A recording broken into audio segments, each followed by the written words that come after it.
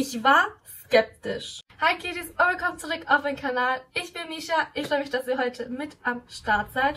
Heute testen wir die nagelneuen Produkte von Catrice aus, denn sie haben ein neues Sortiments-Update rausgebracht. Wir warten immer das ganze Jahr darauf, beziehungsweise jedes halbe Jahr drauf. Und ja, ich habe die Produkte hier. Ich habe nicht nur mir einige Produkte geholt, sondern auch welche für euch. Das heißt, in diesem Video gibt es auch ein Gewinnspiel. Und was ihr gewinnen könnt und wie ihr gewinnen könnt, klären wir danach. Außerdem, bevor wir anfangen, wollte ich sagen, falls du auf meinem Kanal sein solltest und noch kein Abonnent bist, würde ich mich freuen, wenn du das ändern würdest. Ich freue mich über deinen Support und ich würde sagen, fangen wir einfach mal an. So, starten wir mit Primer. Da habe ich den One Step Skin Perfector. Der kann ziemlich viel. Der pflegt eure Haut, gibt euch Feuchtigkeit, er hat Vitamin C dabei und sogar noch einen Sonnenschutz, was ich echt mega cool finde. Okay. Der sieht sehr interessant aus. Also der ist so weißlich mit schwarzen kleinen Pünktchen. Sieht aus wie so Stracciatella-Eis. Oh, der riecht richtig geil. Das riecht nach Vanilleextrakt. Richtig nice. Ich liebe Vanille. Also der Primer ist wirklich mega reichhaltig. Es fühlt sich an, als hätte ich wirklich eine Sonnencreme draufgeklatscht vom Feinsten. Zwar mit einem Lichtschutzfaktor von 50 und nicht mit 20. Real Talk 20 wäre mir auch ehrlich gesagt zu wenig. Da benutze ich wirklich lieber eine 50er Sonnencreme. Aber ansonsten ein schöner Glow, gibt euch Feuchtigkeit und ich habe auch wirklich das Gefühl, dass mein Gesicht gepflegt ist. Deswegen, ja, First Impression das Produkt hält, was es verspricht, finde ich schon mal sehr nice. Und ich würde sagen, wir machen weiter mit Foundation. Und zwar hat Catrice eine neue Foundation rausgebracht aus der Clean ID-Reihe. Und die sieht fürs Erste auch sehr nice aus vom Packaging. Das ist eine High Cover Luminous Matte Foundation. Und zwar eine vegane Foundation. Und ähm, ja, der Titel der Foundation ist sehr interessant, denn sie ist irgendwie beides, luminous und matt. Ja, ja, ich bin sehr gespannt, wie die gleich auf meinem Gesicht performen wird. Ansonsten können wir kurz über die Farbrange reden. Ich meine, ich habe jetzt die hellste Farbe, das ist 004 und ich glaube, es gibt insgesamt drei Farben von dieser Foundation. Das ist ein bisschen wenig. Also, ich weiß nicht, ich bin eher der Freund, man hat irgendwie als Unternehmen oder als Brand zwei Foundations oder so und hat da ganz viele Farbranges, als irgendwie fünf oder sechs Foundation auf den Markt zu bringen und immer irgendwie gefühlt zwischen drei und zehn Farben zu haben. Denke ich mir so, konzentriert euch mal ein bisschen mehr auf die Farben. Dankeschön. Außerdem hat die keine Silikone, kein Mikroplastik, keine Parabene oder irgendwelche Mineralöle, was ich auch sehr nice finde. Ich hoffe, ich hoffe, die funktioniert. Dann ist es echt nice. Oh, ich glaube, die können zu dunkel sein. Äh, okay, die Foundation ist viel zu dunkel und viel zu gelb. An dieser Stelle sind die Simpsons ganz herzlich grüßen, ne? Okay, ähm, das ist ein Luminous Matte Foundation. Mm, ich würde mal sagen, äh, Matte ist hier Sparmenü und Luminous ist hier XXL on the top, würde ich mal behaupten. Es kann auch sein, dass mit dem Primer das noch krass luminöser, luminöser ist. Also es ist sehr heftig, wirklich. Ich fühle mich wie eine Sonne gelb und strahlend. Mein Gesicht. Die Foundation ist viel zu dunkel, darüber müssen wir gar nicht reden. Ihr könnt es an meinem Hals sehen. Das ist Feelings 2007 kommen zurück. Die Weiber mit den orangenen Gesichtern auf der Straße. Love it. Aber ich finde, die sitzt mega schön auf meiner Haut. Ich finde, die fühlt sich leicht schwer an. Das ist so an manchen Stellen von meinem Gesicht, finde ich, ist die schwer und an manchen nicht. Also das ist so ein ganz komisches Gefühl gerade. Aber wäre die irgendwie drei Gänge weniger glowy, dann würde sie mir deutlich besser gefallen, also von der Farbe abgesehen. Pudern gleich noch das Ganze ab und gucken, ob das dann besser wird. Aber bevor wir abpudern, kommen wir noch zu Concealer. Aus derselben Reihe ist auch ein Concealer entstanden. Und zwar der Clean ID High Cover Concealer. Dieser Concealer ist fragrance free, hat keine Silikone, kein Mikroplastik und ist auch vegan. Finde ich auch sehr nice. Den habe ich einmal in der Farbe 004. Boah, wie dunkel ist die Foundation. Lego Mio. Concealer ist einmal verblendet und zudem kann ich nicht wirklich viel sagen. Also, ich habe das Gefühl, der hat gerade nichts gemacht. Also er ist irgendwie noch da, nicht wie bei dem Essence Concealer. Der war ja weg und hat alles mitgenommen gefühlt, da wo ich ihn aufgetragen habe. Er ist schon irgendwie da, hat aber nichts gemacht. Er hat nicht irgendwie aufgehellt, hat irgendwie eine krassere Deckkraft gegeben, sonst irgendwas. Also den muss ich nochmal im Einzelnen mir anschauen. Ich glaube, die Foundation ist gerade ein bisschen zu zu dominant auf meinem Gesicht. So kommen wir jetzt zum Abpudern und ich hoffe, dieses Puder nimmt mir ein bisschen Glow weg. Ich Ich hoffe es wirklich, ich hoffe es. Zwar von der True Skin Reihe hat Catrice ein Puder rausgebracht und zwar das Mineral Loose Powder Hyaluronic Exit transparent und matt. Mal gucken, wie mein Gesicht gleich aussehen wird. Aber das Puder finde ich vom Packaging auch mega cute. Vor allem, ich finde, das Puder sieht ziemlich rosé-stichig aus und die Foundation sind so gelb ausgelegt. Aber soll ja transparent sein. Mal gucken, ob es wirklich so transparent ist. Also ich habe demnächst so meine Leidenschaft für lose Puder entdeckt durch das Elf Puder. Das ist so ein gutes Puder. A Real Talk, ich finde das ziemlich dunkel für ein transparentes Puder. Also, okay, das Puder sieht doch ziemlich gut aus farblich. So, und dann trage ich den Rest mit einem Pinsel noch auf. Ich war skeptisch, aber ich bin positiv überrascht. Ich finde das Puder mega geil. Es hat wunderschön abmattiert. Es sieht sehr natürlich aus. Es ist nicht dieses unschöne Glowy oder dieses unschöne Matte, sondern wirklich so perfekt. Wie gesagt, das ist eine First Impression. Ich werde das Puder noch mit meinen anderen Foundation austesten. Vor allem Foundation, die mir farblich passen, um zu gucken, ob es wirklich so transparent ist. Aber fürs Erste bin ich sehr happy mit dem Puder. Soweit ich weiß, hat Catrice keinen Bronzer. Deswegen habe ich das einmal off Camera gemacht und wir machen weiter mit Blush.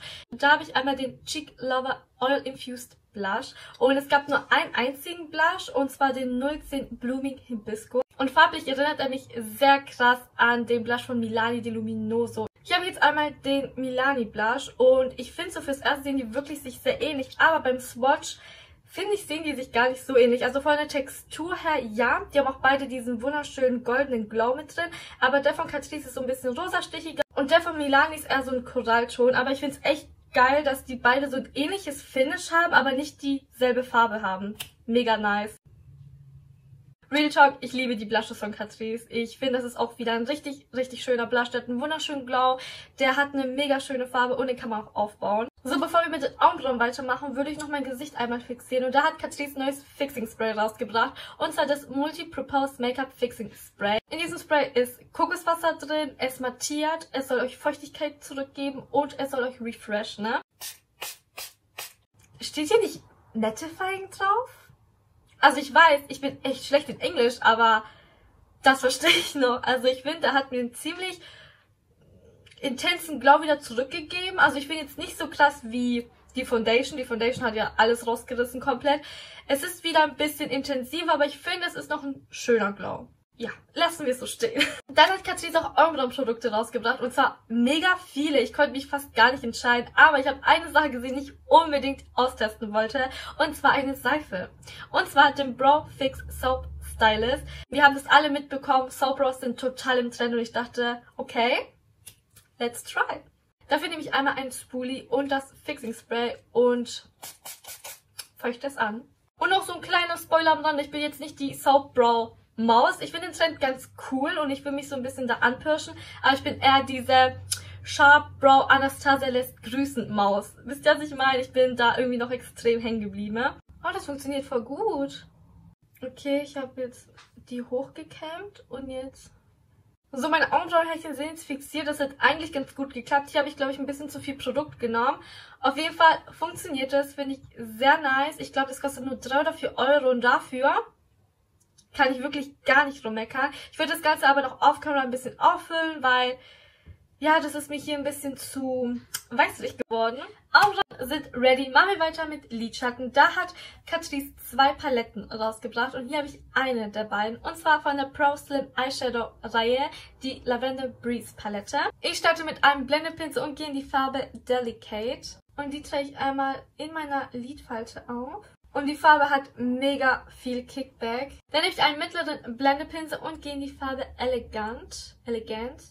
Englisch ist nicht meine Stärke. Die trage ich auch in meiner Lidfalte auf. Die Farbe hat auch mega viel Kickback. Ich kann euch das mal in der Kamera zeigen.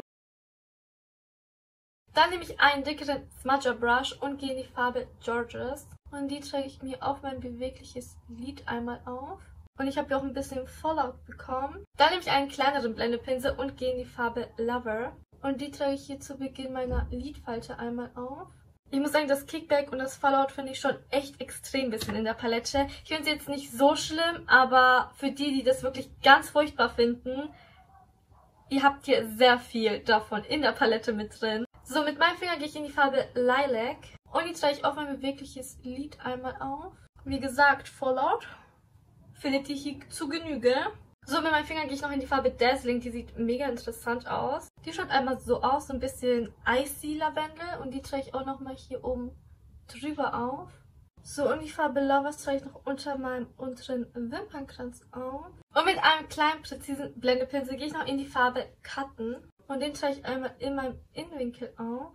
Ja, sieht auf jeden Fall echt hübsch aus. So, mit dem Look wären wir einmal fertig. Ich konnte sehr schön mit den Farben arbeiten. Ich konnte die sehr schön verblenden. Ich finde die auch ein bisschen softer. Perfekt für den Frühling, perfekt für Einsteiger. Wenn ihr was krasses sucht, ist es vielleicht nicht eure Palette, aber für so einen Hauch von mega schön. Diese Palette hat extrem viel Fallout und Kickback. Falls euch das extrem stört, würde ich euch raten, da die Finger wegzulassen. Es ist ein bisschen, ja, bisschen nervig auf Dauer. Aber im Großen und Ganzen finde ich, hat die Palette eine tolle Preis-Leistung. Dann hat Catrice ihre Glam Doll Reihe erweitert um diese zwei Produkte hier. Einmal eine Mascara, was ganz normal ist bei der Glam Doll Reihe, aber auch noch ein Eyeliner. Das ist neu.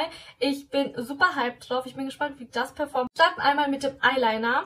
Das ist einmal der Glam Doll Easy Wash Off Power Hold Eyeliner. Das heißt, er soll super krass halten wiederum aber ziemlich leicht abgehen. Da bin ich jetzt gespannt, vor allem mein Auge tränt und das ist so gerade der Härtetest für einen Eyeliner.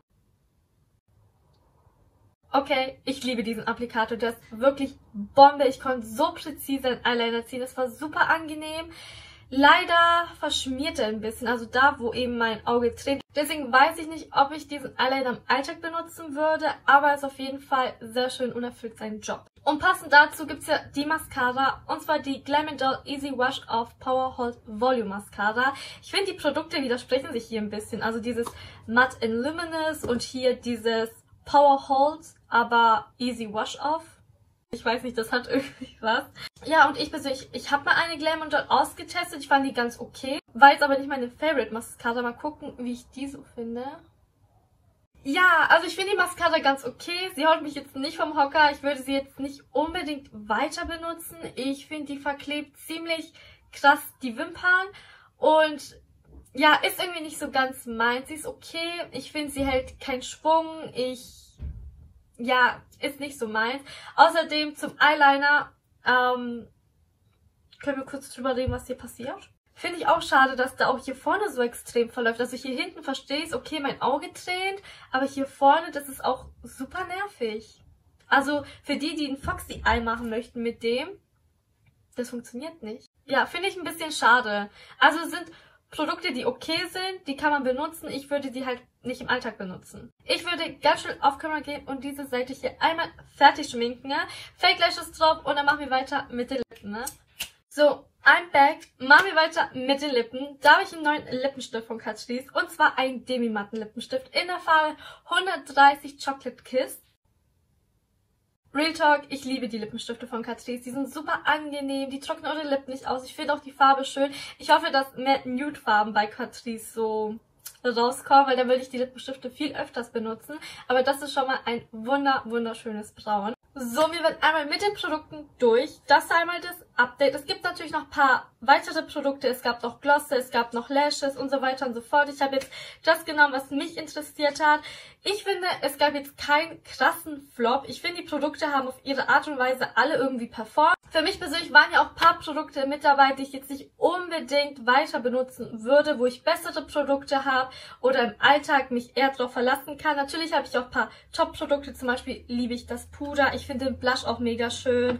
Ähm, die Soap Brow und auch den Lippenstift feiere ich extrem. Also die könnt ihr in Ruhe einmal anschauen. Alles andere ist in Ordnung, muss ich noch ein bisschen austesten oder ist eben Geschmackssache. Aber kommen wir zum Gewinnspiel, denn ich habe ja wie gesagt einige Sachen für euch auch geschaut. Und zwar einmal diese Palette hier, das ist die Pro Slim Eyeshadow Peach Origin Palette.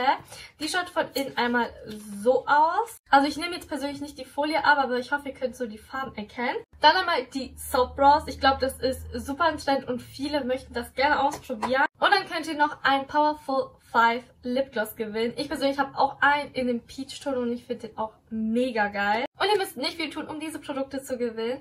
Einmal ein Abonnent meines Kanals, denn natürlich geht dieses Gewinnspiel an meine Community. Diesem Video einen Daumen nach oben geben und etwas in die Kommentare schreiben. Ihr könnt reinschreiben, was ihr möchtet. Ihr könnt ein Emoji reinschreiben oder wie ihr mein Augen-Make-up findet oder wie ihr die Produkte findet, was ihr möchtet. Und ja, ansonsten bedanke ich mich, dass du heute mit am Start warst und ich hoffe, wir sehen uns beim nächsten Mal wieder.